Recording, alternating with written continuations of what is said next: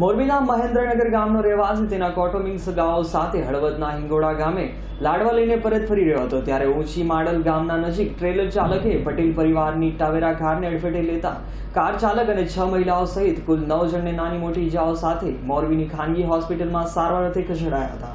બનાવની પ્રાપ્ત વિગતો મુજબ મોરબીના મહેન્દ્રનગર ગામનો રહેવાસી પટેલ પરિવાર આજે ટાવેરા કારમાં હળવદરના હિંગોળા ગામે લાડવા લઈને શુભ પ્રસંગી ગયા હતા અને પ્રસંગ પતાવીને આજે બપોરના સમયે પરત ફરી રહ્યા હતા ત્યારે મોરબી તાલુકાના ઊંચી માડલ ગામ નજીક તેની ટ્રાવેરા કારને સામેથી આવતા ટ્રેલરના ચાલકે અડફેટી લેતા કારમાં સવાર તમામ યાત્રીઓ ઘવાયા હતા, જેમાં કારના ચાલક ભરત અમરસિંહ દાવા, અંજુબેન ચંદુભાઈ, શિલ્પાબેન ચંદુભાઈ, ધવલભાઈ ચંદુભાઈ અને મનીષાબેન ભરતભાઈ.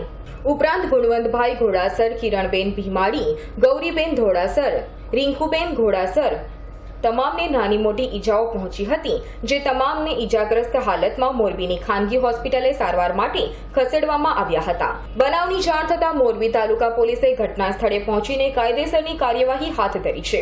તેમજ ટ્રેલરના ચાલક વિરુદ્ધ અકસ્માતનો ગુનો નોંધવા માટે તજવીજ હાથ ધરી છે.